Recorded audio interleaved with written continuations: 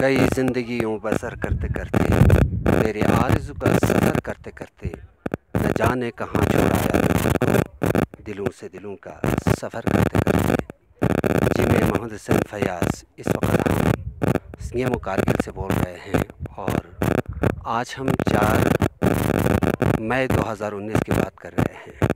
اس وقت ہم لے سے کارگل کی طرف سفر کر رہے ہیں اور لے سے کارگل کے کارگل کا سفر جو ہے، وہ تقریباً دو سو تیس کلو میٹر کی دوری ہے۔ اور اس وقت آپ دیکھ سکتے ہیں، ایک دریا جو یہاں سے بہتا ہے، یہ زنسکار کی طرف سے آتا ہے یہ دریا۔ اور یہ دریا پنزلہ درے سے ہو کر پھر یہ دریا دریا، ایک دریا وہاں سے بہتے ہیں جو ہماچل کی طرف سے آتا ہے نق سے آتے ہیں۔ اور ان دونوں دریا کا ملن جو ہے وہ دن کے مقام پر ہوتا ہے۔ پھر یہ دونوں مل کر یہاں پہ دریائے چھشت کے ساتھ، یہ دوسرا دریا جو ہے، آپ کو ہمارے کیمرہ مین دکھائیں گے کہ لیک کی طرف سے بہتا ہے۔ اور ان دونوں کا سنگم یہاں پہ ہوتا ہے سنیموں کے مقام پر۔ اور یہ دریا دونوں مل کر چلا جاتا ہے پاکستان کی طرف۔ اور ان دونوں کا سنگم جو ہے، مورل کے مقام پر دریائے سر کے ساتھ جا ملتا ہے۔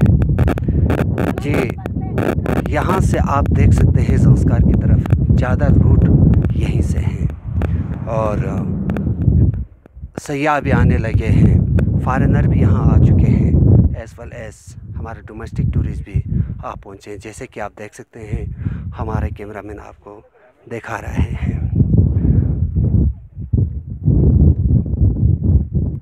کبھی کسی کو مکمل جہاں نہیں ملتا، کہیں زمین تو کہیں آسمان نہیں ملتا۔ جسے بھی دیکھی وہ اپنے آپ میں گم ہے۔ زباں ملی ہے مگر ہم زباں نہیں ملتا۔ تیرے جہان میں ایسا نہیں کہ پیار نہ ہو۔ جہاں امید ہے اس کی وہاں نہیں ملتا۔ جی لداخ خطہ جو ہے وہ بہت خوبصورت علاقہ ہے۔ یہاں کا ٹوپوگرافی جو ہے وہ بالکل الگ ہے۔ آنے والے آپ دیکھ سکتے ہیں۔